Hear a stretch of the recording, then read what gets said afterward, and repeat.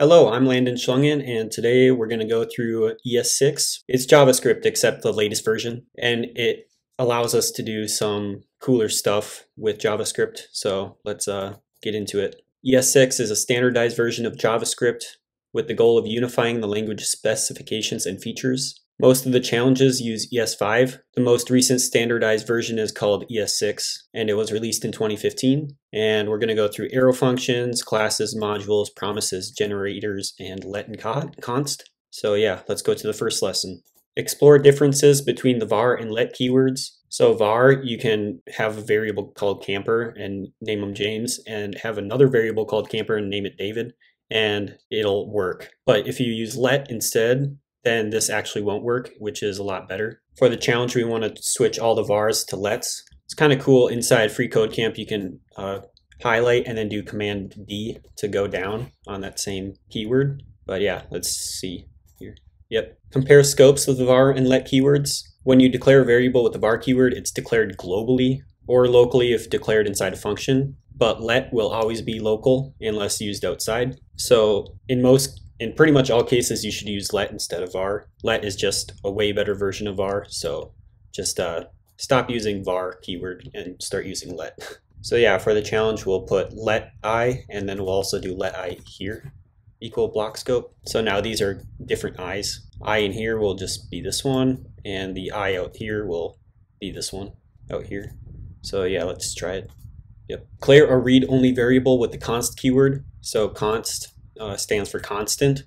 So this is when you want a variable to stay constant and not change.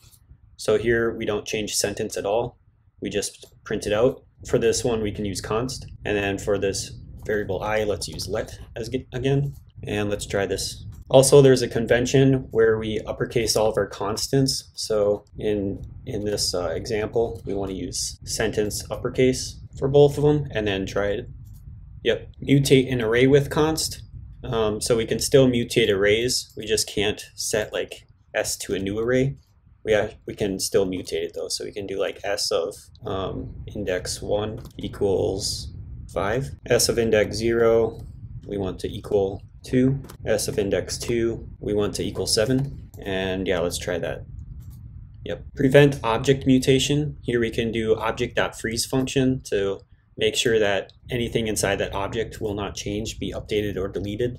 So for the challenge, we want to do math constants and we want to wrap it with object.freeze. Make sure there's a semicolon and run it. Make sure you spell constants right and then run it. Yep. Use arrow functions to write concise anonymous functions.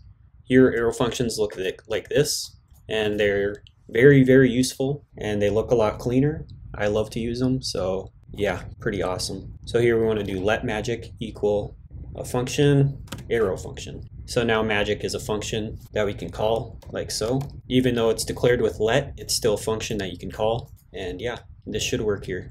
Let's try it. I guess magic should actually be a constant variable, so we'll go const magic. Write arrow functions with parameters, so kind of the same thing. We'll go const my concat equals the those parameters and then equals arrow and then this is our function. And let's try it. Yep. Set default parameters for your functions. Here, here we can have like our parameter and then have an equal sign and then that will be its default. So for the challenge, we want to, to default value to one. So if value is not specified, it'll still add one to it. So yeah, there added 51 even though we didn't specify an increment value. But if we do specify an increment value, then it will actually use that value instead. So yeah, let's try this. Yep. Use the rest parameter with function parameters. Um, for the challenge, we want to change these parameters to use dot dot dot args. And then we also want to change this to args. So now args will be passed into this array, and then we're going to reduce them, and I think this should work. So let's try it. Uh, args has to be a different name, so we'll do arguments. And now let's try it. Actually, I think we can just call arguments.reduce right away. Get rid of that line. Now let's try it. No, Okay, I guess it needs to be named args because it was giving me an error otherwise. So now let's try it. There we go. Okay. Using the spread operator to evaluate arrays in place. Here we can use the spread operator, which is three dots, and it basically just copies the whole array. So now array 2 equals array 1 just because we use the spread operator and then R1 in, into it. Um, I wonder what happens if we just skip the dots. If we skip the dots, then it becomes a nested array. So we want to keep the dots there so that it actually copies the whole array without extra brackets. Let's try that. Yep. Use destructuring assignment to extract values from objects. Here we want to put brackets around today and tomorrow. And that way we can get rid of dot today and dot tomorrow. So what it's doing is it's basically pulling today out of high temperatures and setting it to a variable called today. And same for tomorrow, pulling tomorrow out of high temperatures and setting it to a constant variable called tomorrow. So if we console log today, yeah, it gives us 77, which is correct. So let's try this. Yep. Use destructuring assignment to assign variables from objects. Here we want to destructure again. So we'll put brackets around these. And then you'll notice that high today isn't the same as today and high tomorrow isn't the same as tomorrow. So what we do is we put colon and then we do today and then we do colon and then do tomorrow. And now we have a variable called high today that's going to be today from this object. So let's try that. These actually have to be flipped around. So today goes before high today. So we pull out today and call it high today. Pull out tomorrow and call it high tomorrow. Let's try that.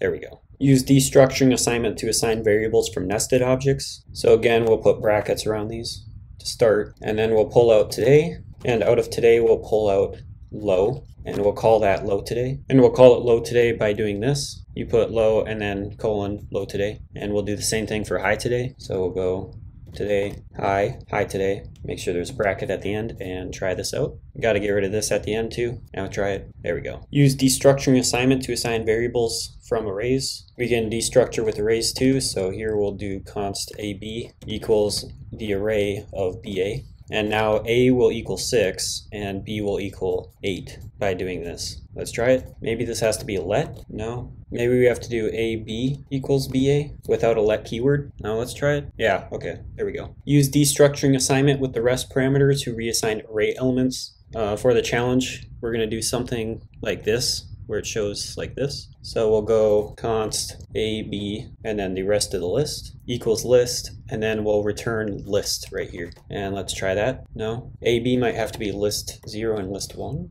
Okay, I think I just had to do r instead of list. So let's try it now. Yep, okay. Use destructuring assignment to pass an object as a function's parameters. So here stats is this object, and we're passing it in as a parameter. What we can do is we can actually destructure it to use the max and the min um, parts of the stats stats uh, object. Okay, maybe we just need max and min in here and then try that. Wow, okay. I thought that we needed to specify like what object it was, but I guess not. Like it already knows to use stats, the stats object.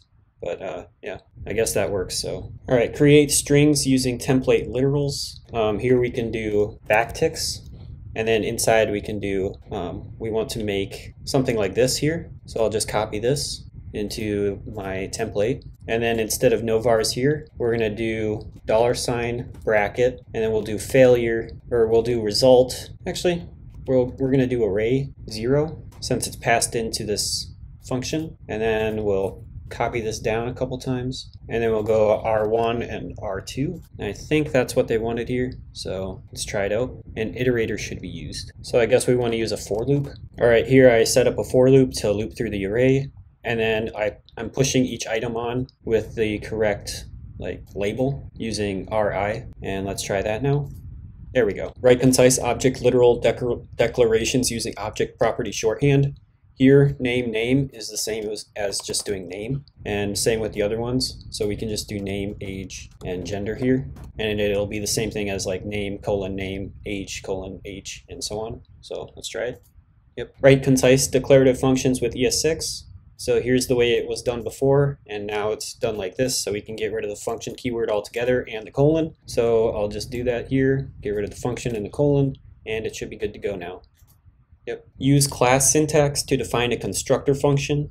So now we're getting into classes, I guess. So we'll go class vegetable. So it's going to be a class called vegetable. And it's going to have a constructor. And the constructor runs anytime we call new and then the actual class. And then we pass carrot in. So that's going to be called the name. And then what we want to do with the vegetable is we want to set this dot name equal to the name that's passed in. So now this vegetable has a property of dot name. So as you can see here, if I update this to car or ka, then carrot dot name is ka. If we do carrot, then carrot dot name is carrot, and that's because it sets this dot name equal to that name here, and then we can call dot name on it. If that if it was, let's say instead of this dot name, we'll do this dot hello, then we can do dot hello here, and then it'll get carrot for us that way as well.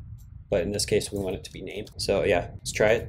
Yep. Use getters and setters con to control access to an object. Here we want to make a class with getters and setters. So I'll do that quick and I'll show you after. All right, so I think I got this done.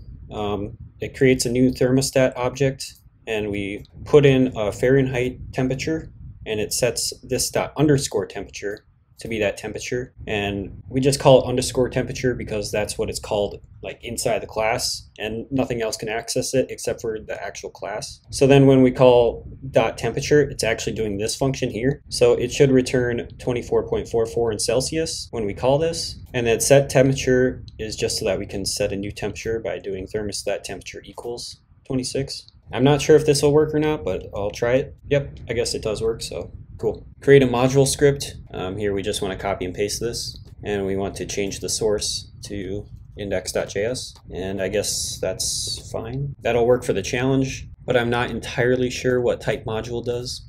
I'm sure you can read this to find out. So I'll just go. Use export to share a code block. This is very useful if you're using multiple files to write your JavaScript so that we can import it in one JavaScript file and then use it in that file.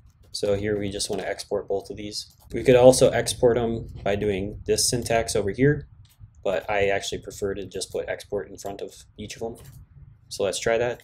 Yep. Reuse JavaScript code using imports. So like I said, if we're working in a different file now, we can import it by doing import, and then we import our uppercase string and our lowercase string, and we import them from dot slash string functions. The dot slash here means the current folder, and then we grab the file string functions.